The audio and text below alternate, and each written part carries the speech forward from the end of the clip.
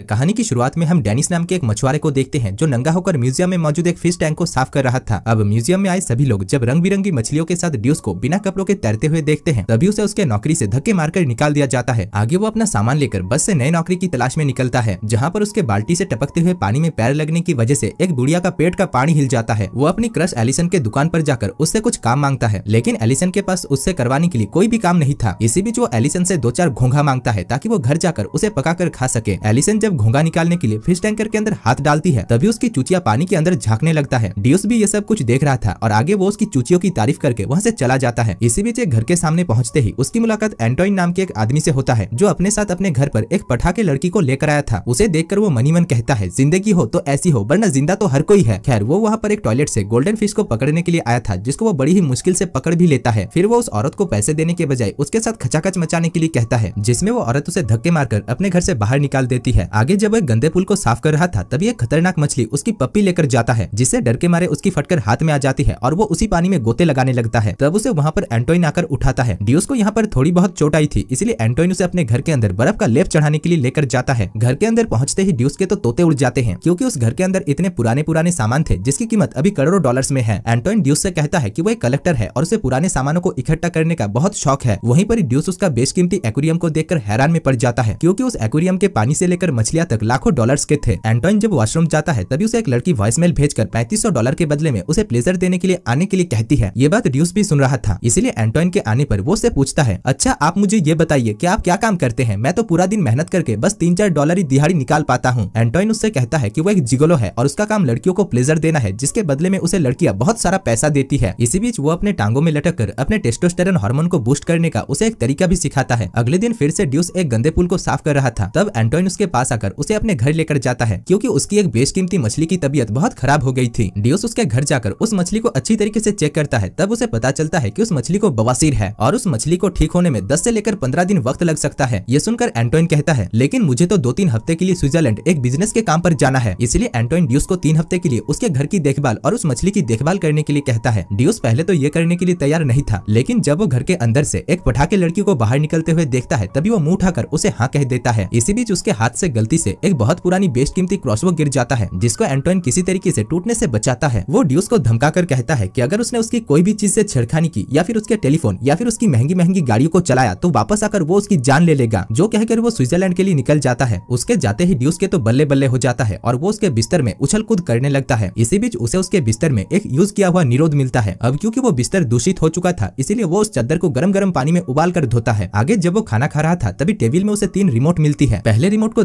दबाने पर एक टीवी नीचे से ऊपर आता है। दूसरे को दबाने पर ऊपर से एक टीवी नीचे खिसकता है और तीसरे रिमोट को दबाने पर तो पूरा का पूरा थिएटर ही उसके पीछे खुल जाता है और उसमें अश्लील अश्लील वीडियो चलने लगता है। इसी बीच कोई दरवाजे को नॉक करता है और इधर ड्यूस बहुत सारी बटन को दबाने पर भी टीवी को बंद नहीं कर पाता, इसलिए वो ऐसे ही दरवाजे को खोलता है। दरवाजे के बाहर एक छोटी बच्ची थी, जो उसे ये सब कुछ करते हुए देख लेती है और उसे ठरकी समझ कर वहाँ से चली जाती है। खैर, थोड़ी देर बाद ड्यूस अपने टेस्टोस्टेरन लेवल को बूस्ट करने के लिए चमगादड़ की तरह उल्टा लटकने का फैसला करता है और टोस्टर में एक टोस्ट गर्म होने के लिए देकर उल्टा लटक जाता है। तभी वो देखता है की वो टोस्ट गर्म होकर उसमें आग लगता जा रहा था। अब क्योंकि वो उल्टा लटका हुआ था, इसलिए वो अपने आप को सीधा नहीं कर पाता और पूरे किचन में आग लग जाती है। वो किसी तरीके से झूल झूल कर उस करोड़ों के फ़िश टैंक को पकड़ता है, जिससे वो फ़िश टैंकर ही टूटकर बिखर जाता है और वो मुँह के बल गिरता है। इसके बाद वो फ्रिज से बियर निकालकर उससे आग को बुझाता है और फिर उन सारे मछलियों को कटोरा, डिब्बा, ग्लास और छोटे छोटे बर्तनों में पानी डालकर किसी तरीके से बचा कर रखता है। इसके बाद वो एक आदमी को बुलाकर उसे एक्वेरियम को फिर से पहले के जैसे बनाने के लिए कहता है, जिसमें वो आदमी कहता है कि वो एक्वेरियम बहुत पुराना था और उसे फिर से पहले के जैसे बनाने के लिए छह डॉलर खर्च करना होगा। अब छह हज़ार डॉलर का नाम सुनते ही उसके तो पैरों तले से ज़मीन ही खिसक जाती है, क्योंकि उसने आज तक इतना पैसा कभी इकट्ठा देखा तक नहीं था और तीन हफ़्ते के अंदर इतना पैसा इकट्ठा करना उसके लिए बिल्कुल नामुमकिन था। लेकिन इसके अलावा उसके पास कोई दूसरा रास्ता भी तो नहीं था। अगर वो इस एक्वेरियम को फिर से पहले के जैसा नहीं बना पाता तो घर आकर एंटोइन उसकी जान ले लेगा। इसीलिए वो इस चीज़ को सोच सोच कर काफ़ी परेशान हो रहा था। रात को जब वो थक हार कर सो रहा था, तभी उसे एक औरत कॉल करके प्लेजर देने के लिए अपने घर बुलाती है। दरअसल वो ड्यूस को ही एंटोइन समझ रही थी। अब पैसे कमाने का इतना अच्छा मौका ड्यूस छोड़ कैसे सकता था। इसीलिए वो भी सुपरमैन की तरह लाल चड्डी पहनकर उस औरत के घर पहुँच जाता है। वो औरत बहुत रोमांटिक थी, इसलिए वो ड्यूस को पहले कविता पढ़कर सुनाने के लिए कहती है और ड्यूस भी उसकी बात मानकर उसे कविता पढ़कर सुनाता है। थोड़ी देर बाद जब वो उस औरत को प्लेजर दे रहा था, तभी उस औरत का खुखर जर्मन सेफर्ड कुत्ता घर के अंदर घुस जाता है। इसीलिए ड्यूस को अपनी जान बचाकर वहाँ से भागना पड़ता है। जाते जाते वो औरत उसे दस मिनट के लिए दस डॉलर देती है, जिसको पाकर ड्यूस के मुँह में चमक आ जाती है, क्योंकि आज उसने पहली बार कम मेहनत करके ज़्यादा पैसा कमाया था। वो उन पैसों को लेकर सीधा एक नाइट क्लब में पहुँचता है और उन पैसों से महँगी महँगी शराब पीता जाता है। वहाँ पर वो एक लड़की को देखकर उसके पास जाकर कहता है, मुझे स्पेनिश लड़कियाँ बहुत पसंद है। जो सुनकर वो लड़की कहती है, लेकिन मैं तो फ्रेंच हूँ। ड्यूस कहता है हाँ फ्रेंच भी मुझे पसंद है। जिसके बाद वो उस लड़की के ऊपर मक्खन चढ़ाने लगता है। यहाँ पर वो लड़की भी उसके बहकावे में आ जाती है और फिर ड्यूस उसे घर लेकर जाता है। घर पहुँचते ही ड्यूस उससे दस डॉलर यानी उसका चार्ज माँगता है, जिसमें वो लड़की कहती है कि वो एक प्रोस्टिट्यूट है और उल्टा ड्यूस को ही उसे पाँच डॉलर चार्ज देना होगा। ये सुनकर ड्यूस सोचता है कि ये तो चोर के घर में डकैती हो गई। वो उससे कहता है, नहीं नहीं, तुम मुझे नहीं, बल्कि मैं तुम्हें सर्विस दे रहा हूँ, इसलिए तुम्हें मुझे दस डॉलर देना है, जिसमें वो लड़की उससे पाँच सौ डॉलर मांगती है और बात हाथापाई तक आ पहुँचता है। पहले वो लड़की उसके टट्टों पर लात मारती है, फिर उसके मुँह में आधा दर्जन लात जड़ देती है। ड्यूस भी कम नहीं था और वो उसकी ब्रा की रस्सी को खींच कर मारता है। बदले में वो लड़की हवा में उड़कर ड्यूस के मुँह पर एक लतकंडी चलाती है और उसके कच्चे को ज़ोर से खींचकर छोड़ देती है। इसी बीच वो लड़की उस घर में एंटोइन की फ़ोटो देख लेती है, जिसको देखते ही उसकी फटकर हाथ में आ जाती है और वो वहाँ से निकल लेती है। अगले दिन टीजे नाम का एक आदमी ड्यूस से मिलने के लिए आता है, जो की दरअसल जिगलो यूनियन का लीडर था। ड्यूस उसे देखकर सब कुछ सच सच बता देता है की कैसे उसने एंटोइन की करोड़ों की एक्वेरियम की माँ बहन एक कर दिया और अगर उसने उस एक्वेरियम को ठीक करके नहीं दिया तो घर आने पर एंटोइन उसकी जान ले लेगा। अब उसकी मजबूरी को देखकर टीजे उसकी मदद करने का फैसला करता है। वो उसे कहता है कि स्टॉक मार्केट से भी ज़्यादा फ़ायदा इस जिगलो बिज़नेस में है, लेकिन इसके लिए तुम्हें तैयार होना होगा और तुम्हारे पिछवाड़े को और भी बड़ा करना होगा, जिसके बाद वो उसे प्रोफेशनल जिगलो बनने के लिए तैयार करता है। आगे वो उसे उसके दूसरे क्लाइंट के घर छोड़कर कहता है कि कभी किसी क्लाइंट के साथ प्यार मोहब्बत मत करना। इसके बाद ड्यूस मुँह उठाकर उस क्लाइंट के घर के अंदर घुस जाता है और सीधा उसके बेडरूम में आ पहुँचता है। वहाँ पर पहुँचते ही उसकी फटकर चार